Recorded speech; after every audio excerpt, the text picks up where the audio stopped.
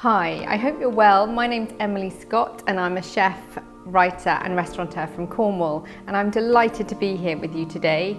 Thank you so much to The White Company for inviting me along to share some of my recipes with you. I am passionate about cooking within the seasons. For a long time, I've always talked about seasonality and keeping things simple in the kitchen. So today I'm going to cook one of my favourite recipes from my spring chapter of my book Sea and Shore. Crab linguine is one of my favourite dishes and I hope that I will inspire you today to have a go at cooking it. In this recipe I've got some fennel, I've got some parsley, I've got some lemon, I've got some chilli and I've also got delicious Cornish crab. I've also, which is a little bit controversial, at the end shaving some parmesan over the top. So we're going to start off by cutting the fennel. Now fennel is one of my favourite vegetables and it's a little underrated or maybe a little like, like, like Marmite. You either love it or you hate, you hate it, but it goes really, really well with crab. So we're just going to start by taking the outer leaves off and then all we're going to do is slice it thinly. You could use a mandolin for this if you have one, but I just find using my knife and cutting very thin slices that we're going to pop into the bowl and then we're going to add some lemon juice, lemon zest, and then all we're going to do is chop some chilli and some parsley as well. At this point I'm just going to turn on my water for the pasta. We're going to put a little bit of salt into the water and we're going to bring that to the boil and that's going to cook the linguine. Right, so we're now going to put some lemon zest into the raw fennel. Now there are lots of different ways to cook linguine, but I'm going to keep the fennel raw. But basically when the hot linguine hits the fennel, it's going to cook it through a little bit. But I personally prefer the, the taste of the fennel slightly less cooked. And then we're going to halve a lemon and we're going to put some juice in there. So lemons are one of the most important ingredients in my kitchen. Lemons can lift, lift a dish.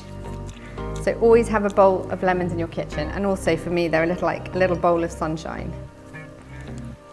So do that and then just use your hand as a, a slight sieve so the pips don't go in.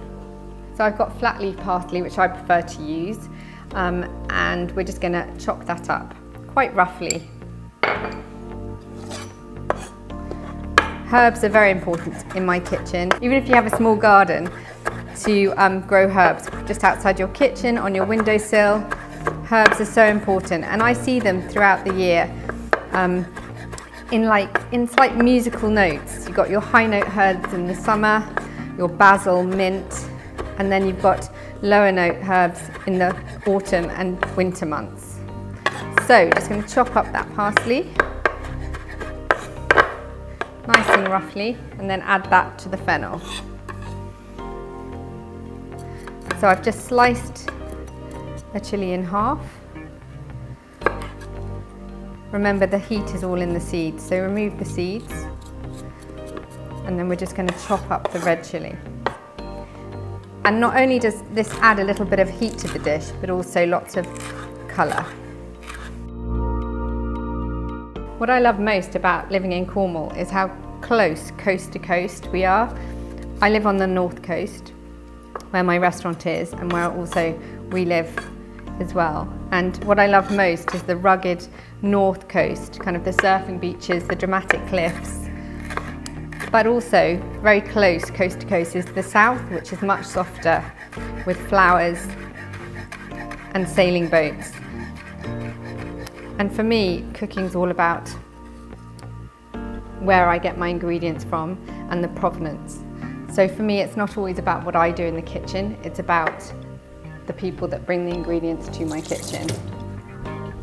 Right, so now all I've got to do is got to cook the pasta. That will take about 10 minutes. So you need 80 grams to 100 grams of linguine per person.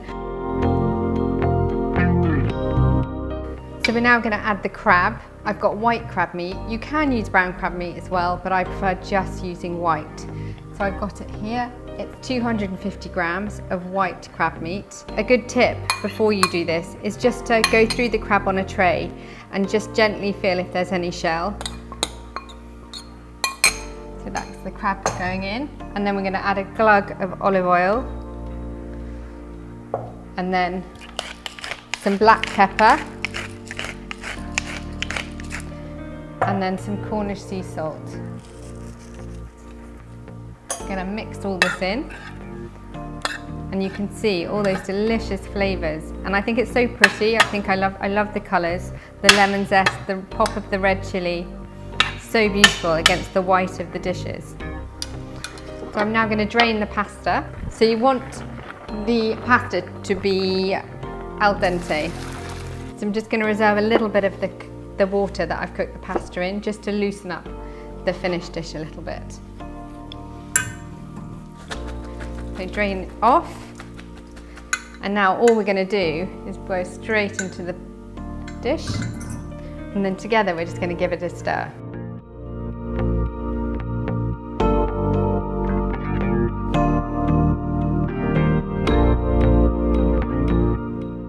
So we're now going to put this pasta into a clean serving bowl that I'm going to put on the middle of the table so everyone can just help themselves, which I love. I love serving food that way. So we just want to pile the crab on top of the linguine. Make sure that the edges are nice and clean to serve. And then all we're going to do is add a little bit more extra virgin olive oil. Just add a little bit more flavour. Another good grind of pepper. Little bit more sea salt. And then, on my crab linguine, always some parmesan, which gives it a really lovely savoury, savoury flavour.